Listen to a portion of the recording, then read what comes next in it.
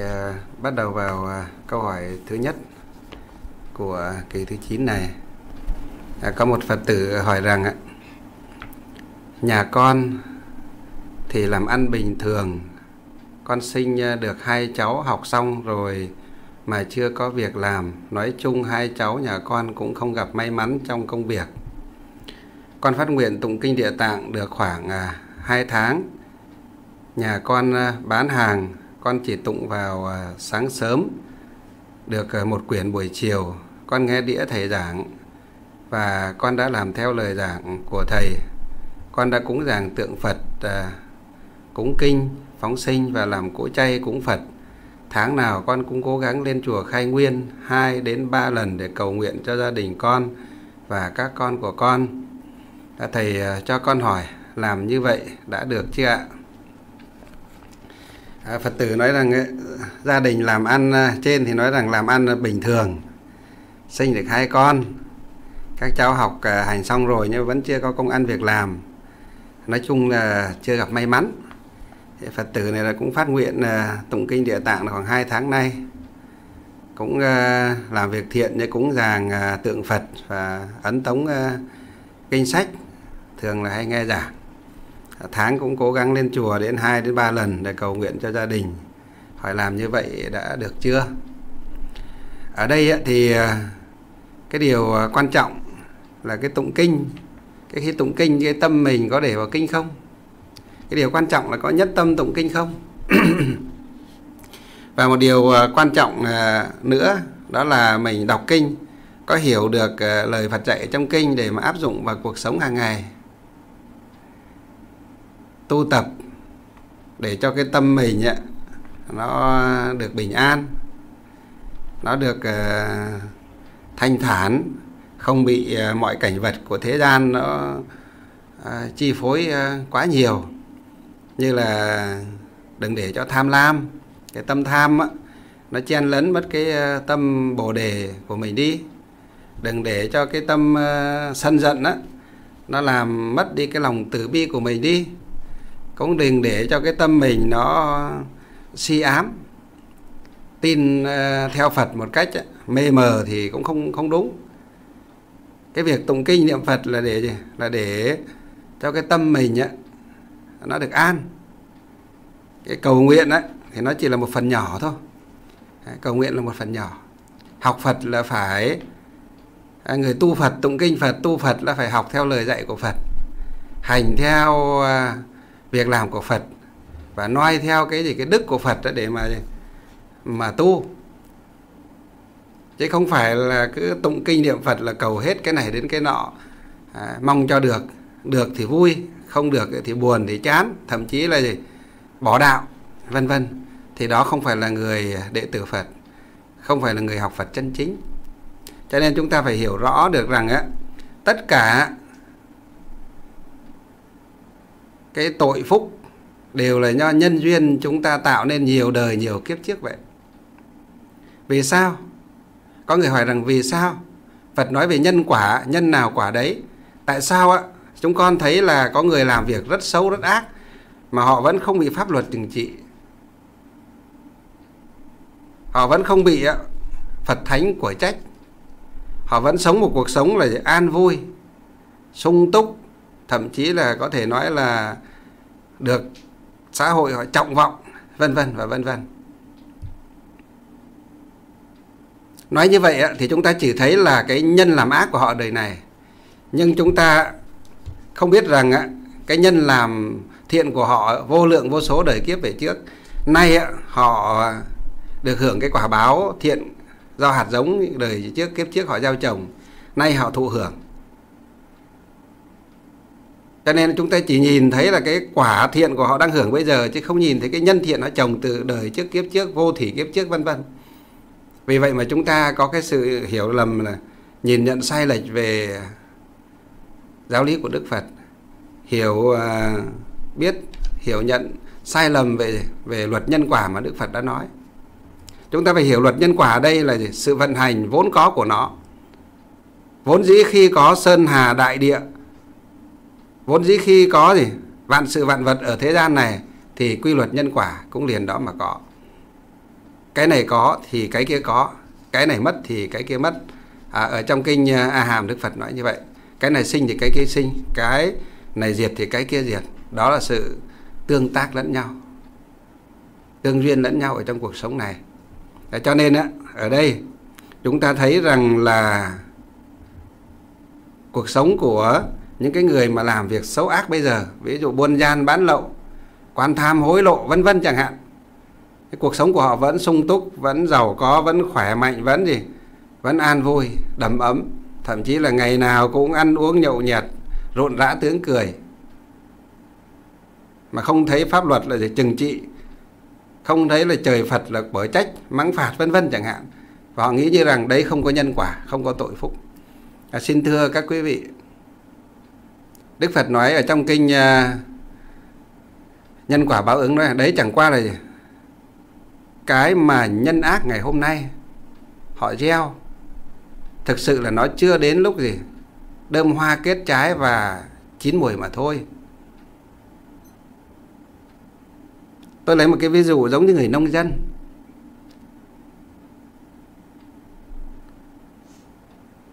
Một người nông dân à, cấy lúa đi cho nó dễ đi. Nói về cây lúa thì chúng ta dễ hiểu hơn. Tại lúa thì thường là 3 tháng rưỡi đến 4 tháng, hoặc trên 4 tháng một tí tùy theo lúa dài ngày hoặc ngắn ngày thì chúng ta được gặt. Nay cứ nói tóm lại là khoảng 4 tháng, từ khi gieo mạ cho đến khi khi gặt, khoảng tầm như vậy. Thì bây giờ chúng ta thấy người nông dân 4 tháng trước, họ chăm chỉ cày sâu cuốc bẫm, gieo xạ hoặc gieo mạ nhổ mạ hoặc gieo thẳng rồi họ chăm chỉ cái thửa ruộng của họ dẫn nước làm cỏ bón phân vân vân. Và khoảng độ đến tầm ờ, uh, 3 tháng khi mà lúa bắt đầu là có đồng và bắt đầu là rỗ rồi rồi bắt đầu là gì? Chắc xanh rồi. Thì khi đó thì người nông dân đó họ không ra tháo nước dẫn nước bón phân nữa, cũng không làm cỏ nữa, và họ đi chơi. Họ đi chơi trong vòng ờ, nửa tháng hoặc cả tháng luôn. Họ đi chơi. Họ không làm nữa, họ không ra thăm đồng nữa, họ không làm nữa. Và mọi người thấy họ thấy, cứ thấy họ đi chơi.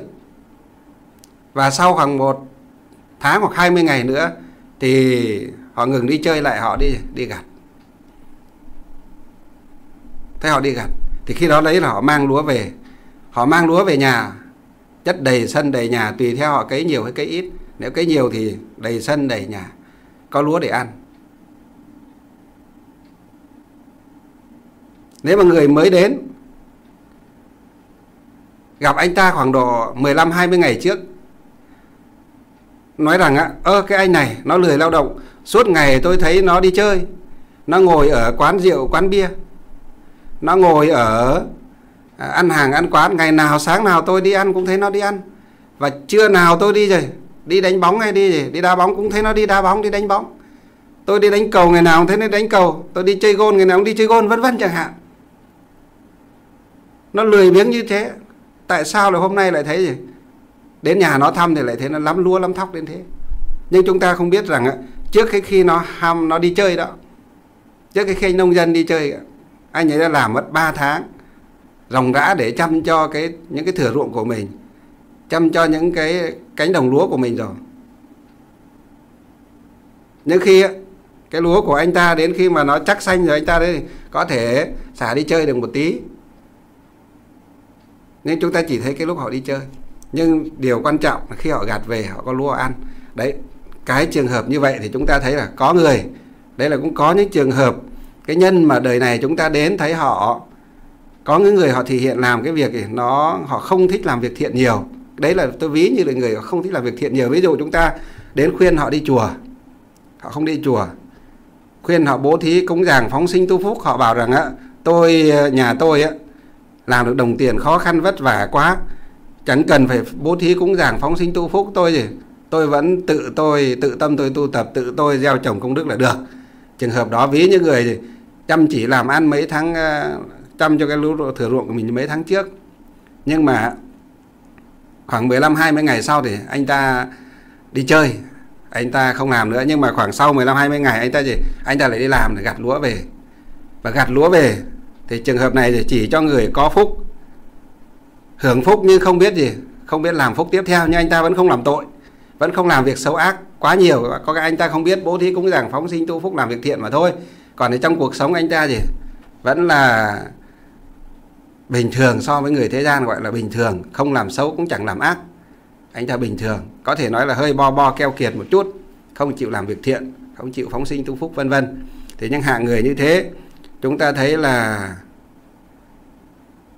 họ có giàu có của ăn của đế nhưng không chịu làm việc thiện. Thì những hạng người như thế, thì đời sau kiếp sau thì cũng chưa biết là họ đi về đâu. Tất nhiên họ sẽ cũng không đọa vào ba đường ác đâu. Nhưng còn mà hạng người, ở đây dẫn chứng để nói ờ, cho chúng ta một cái hạng người đời trước kiếp trước họ chỉ làm rất nhiều việc thiện, giống như là bác nông dân kia chăm chỉ làm ruộng cho đến gì? Đến ngày gặt gặt lúa. Khi gặt lúa về một cái, anh ta thấy là, ồ, nhà mình nhiều lúa thế này, ăn bao giờ cho hết.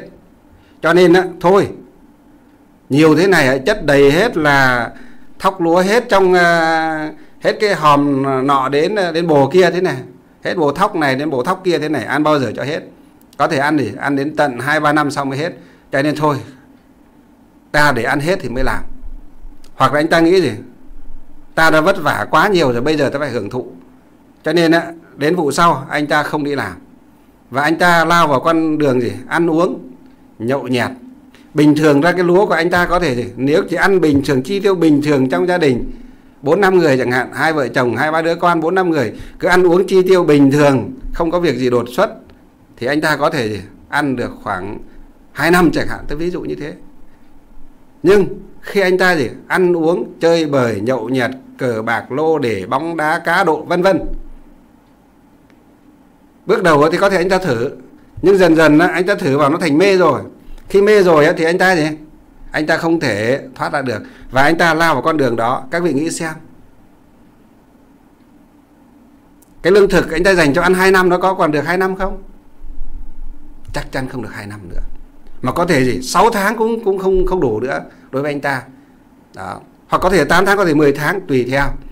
Anh ta ăn ờ, đốt cái gì, ăn chơi quá đà thì nó sẽ hết nhanh. Tương tự như vậy, cái phúc báo của con người ta tạo ra nhiều đời nhiều kiếp về trước, mà đời này, kiếp này chúng ta thọ hưởng đó. Có những người, có những kẻ, nó làm rất nhiều việc xấu ác, buôn gian, bán lậu vân vân. Nhưng cuộc sống của nó chúng ta thấy nhờn vẫn nhờn như ngoài vòng pháp luật. Đó chẳng qua là gì? Ví như là cái thóc của anh ta của anh nhà nông dân kia. Nó ăn được 2 năm nhưng mà bây giờ nó mới ăn được khoảng gì? Mới, mới chi tiêu được khoảng 6 tháng.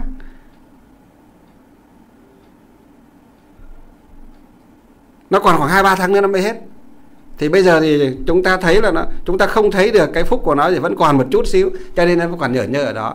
Nhưng chúng ta thấy tất cả nhân quả đức phật đã nói đều không có sai. Nhân nào thì quả đấy.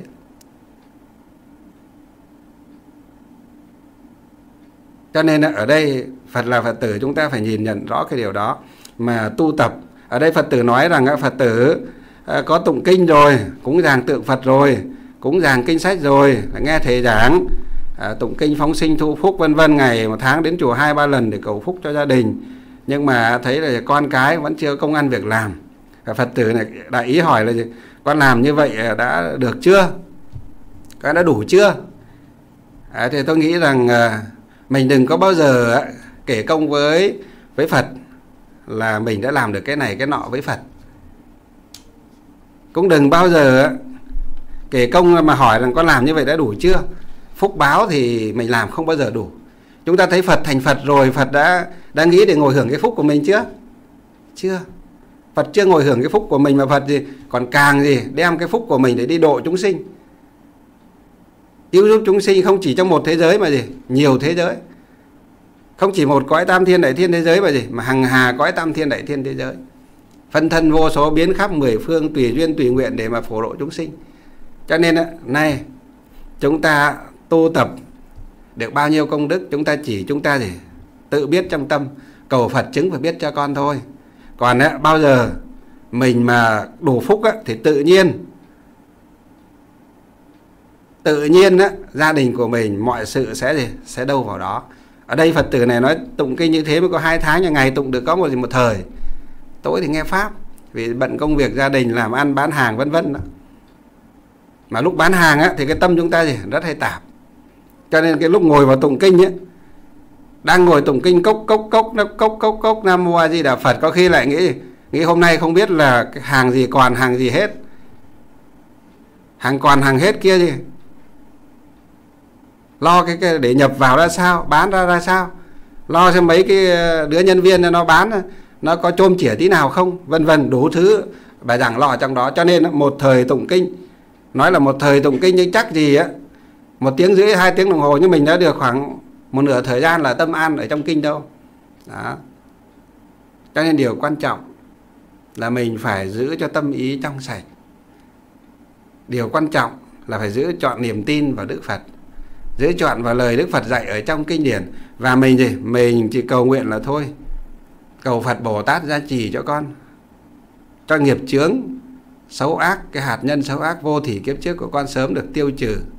Cái nhân thiện của con nó sớm được nảy nở và cái sự khổ đau ở trong đời này kiếp này Phật Bồ Tát gì? Thấy mà cái nhân thiện con á nó nảy nở nhân ác tiêu trừ đi á, quả thiện dần dần nó lớn lên á thì cái hạnh phúc sự mong cầu ở trong gia đình chúng ta không cầu nó cũng tự đến. Ừ, không cầu cũng tự đến. Cho nên trường hợp phật tử này á hỏi rằng à, làm việc như vân vân như đã hỏi như là tụng kinh niệm phật à, nghe giảng phóng sinh đi chùa tháng hai ba lần như vậy đã đủ chưa? Tôi nghĩ rằng chưa đủ. Thì có thể người ta lại hỏi là thế làm như vậy chưa đủ thì bao giờ cho đủ?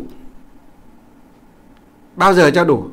Tự phật tử này sẽ trả lời được câu hỏi của mình. Ví dụ phật tử cứ nhất tâm tụng kinh tín phật niệm phật như vậy làm những việc thiện như thế và hai đứa con của mình gì? Ra trường rồi chưa công an việc làm khi mà hai đứa con đấy nó nộp đơn, nó xin việc và nó đi làm được, có công an việc làm ổn định chẳng hạn, thì đó là gì? Đó là đủ cho cái việc gì? Cái việc mà con cái mình, gia đình mình, một phần nào đó đấy về phần đó. Còn việc nữa là phật tử bảo không gặp nhiều may mắn trong cuộc sống. Vì sao mình không gặp nhiều may mắn? Vì cái phúc báo của mình còn kém vậy. Khi mình tụng kinh, tu phúc, phóng sinh, làm thiện, vân vân, đi chùa lễ phật, vân vân đó cái công đức nó lớn nó dày lên rồi ấy, thì tự nhiên mọi cái đó vấn đề đó nó sẽ được như ý nguyện của mình. Thì lúc đó nó được đến đâu thì phật tử này sẽ tự hiểu. À, cũng có rất nhiều rất nhiều phật tử trước khi đến với cái ngôi chùa khai nguyên này họ rất đau khổ đau khổ vì nhiều thứ. Tiền tài của cải thiếu thốn cũng đau khổ. Tình cảm vợ chồng sứt mẻ cũng đau khổ. Con cái hư hỏng cũng đau khổ bệnh tật, triền miên cũng đau khổ, vân vân. Nói tóm lại là có rất nhiều sự đau khổ khác nhau khác nhau đến vô lượng, vô biên, các hoàn cảnh đến đây. Nhưng mà cũng có thì, có rất nhiều phật tử, rất nhiều thiện nam tín nữ, từ cái chỗ đau khổ đó, họ thực sự hiểu được cuộc đời là là vô thường. Hiểu được cái quy luật nhân quả và họ nhất tâm, họ sám hối cái nhân xấu ở đời trước họ gieo trồng. Hiểu được cái cuộc đời là vô thường cho nên gì? Họ phát nguyện ăn chay tụng kinh niệm phật ngay. Ăn chay niệm tụng kinh niệm phật ngay. Thì chỉ một thời gian ngắn thôi, cuộc sống của gia đình họ hoàn toàn là gì thay đổi. Những sự thiếu thốn về vật chất cũng dần dần được cải thiện. Bệnh tật cũng dần được tiêu trừ. Con cái hư hỏng cũng dần gì? Dần ngoan ngoan ngoãn trở lại. Đó như giảng kinh địa tạng, thầy thường ờ, giảng đến hai, ba lần, không dưới hai lần. Có một phật tử ở gia đình ở khu vực uh, quận Ba Đình gần chỗ Lăng Bác ấy. khi còn ở cái nhà cũ ở khu vực nơi khác ấy, thì con trai hay rất ngoan có hai mẹ con. Chồng cũng mất sớm sinh con ra được mấy tuổi thì uh, ông chồng mất thì hai mẹ con vì thương con cho nên bà mẹ ở như vậy để nuôi con. Hai mẹ con sống rất tình cảm.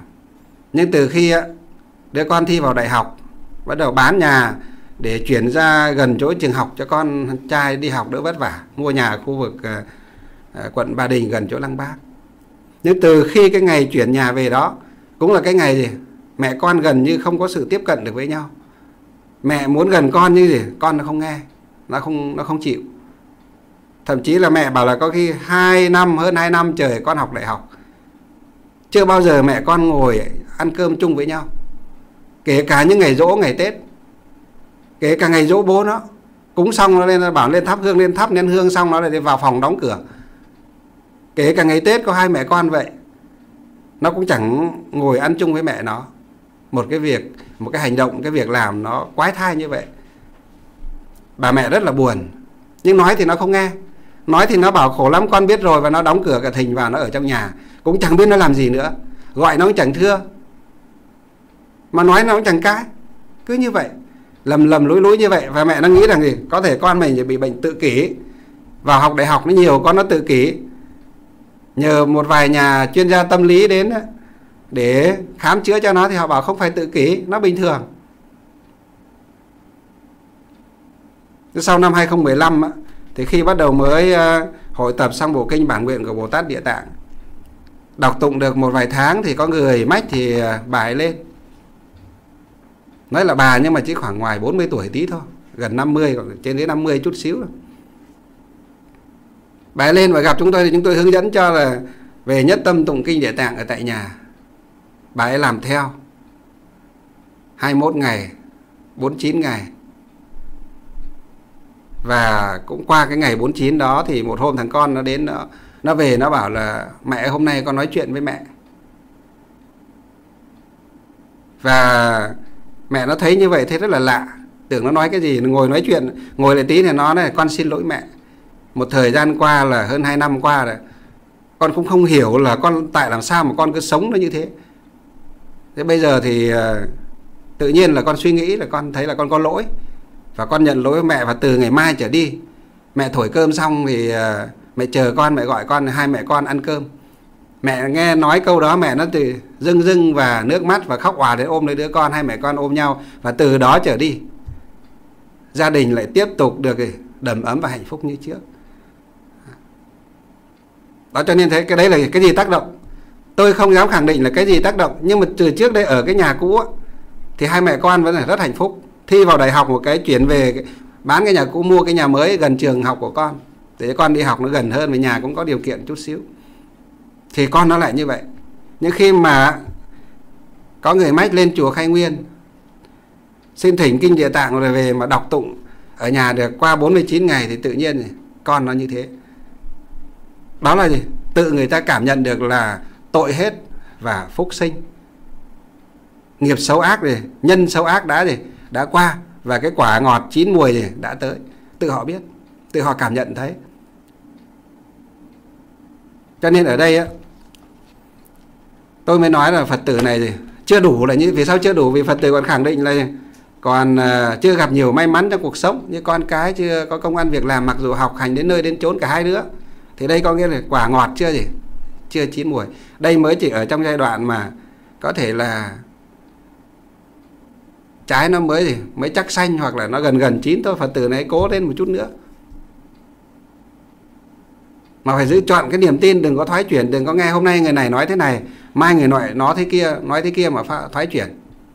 Hôm nay mình đang tụng kinh địa tạng, mai nghe một sư nào đó hay là một phật tử nào đó nói, ôi rồi tụng kinh địa tạng không tốt bằng kinh thì pháp hoa đâu tụng kinh pháp hoa tốt hơn thì lại bỏ địa tạng đi pháp hoa. Hay là có người đến nói là ôi rồi tụng kinh địa tạng không bằng tụng kinh vô lượng thọ tụng kinh vô lượng thọ thì sẽ được vãng sinh tây phương cực lạc trở thành một vị đại bồ tát sẽ thành phật ngay trong một đời. Tụng kinh địa tạng là đi con đường gì? Đường vòng. Còn tụng kinh nhá, vô lượng thọ là đi con đường tắt. Nghe họ nói như vậy lại bỏ kinh địa tạng chạy theo tụng kinh vô lượng thọ vân vân và vân vân. Đó gọi là gì? đó gọi là không giữ chọn niềm tin niềm tin là quan trọng nhất. Niềm tin vững vàng là quan trọng nhất. Rồi cái thứ hai là phải chân thành để mà gì? Mà lễ phật, niệm phật, sám hối, tụng kinh. Cộng thêm việc lành ở bên ngoài đó là phóng sinh, tu phúc. Bố thí cúng dường, làm việc thiện, nghe giảng pháp để cho mở mang kiến thức, trí tuệ phật học của mình. Mở mang rồi thì phải gì? Phải thực hành theo. Thì đó mới đem lại lợi lợi ích an lạc thật sự trong cuộc sống. Chứ còn mở mang rồi thì vẫn bỏ đấy, không làm theo thì chẳng giải quyết được cái gì cả. Thế giống như chúng ta ghi bài giảng vào trong gì? Trong cái đĩa CD hay là cassette mà thôi. Băng cassette hoặc đĩa CD mà thôi. Nếu chỉ ghi vào đó mà bỏ đấy thì nó vẫn nằm ở đấy. Điều quan trọng chúng ta phải mở ra để nghe. Chúng ta mới cảm nhận được gì? Những cái lời hay ý đẹp ở trong gì? Băng giảng ý giảng mà người khác ghi các thầy giảng của chúng ta ghi vào trong đó đấy. À, tương tự như vậy. Cho nên à, xin trả lời à, câu hỏi à, của phật tử đó như vậy. Thôi thì hãy cố gắng lên nữa. Nói tóm lại hãy cố gắng lên đừng có thoái chuyển tâm bồ đề. Ngày mới tụng được một thời thì ờ, thì cái lúc bán hàng á, thì nên thì nên niệm phật. Nên niệm danh hiệu của của ngài, niệm a di đà phật, a di đà phật cũng được, hoặc là niệm danh hiệu quán âm được, danh hiệu địa tạng được. Bây giờ đang tụng kinh địa tạng thì cứ niệm nam mô địa tạng vương bồ tát được. Ừ. cứ niệm danh hiệu ngài. À. rồi mọi chuyện thì dần dần nó sẽ gì? Nó sẽ ờ, tốt thôi.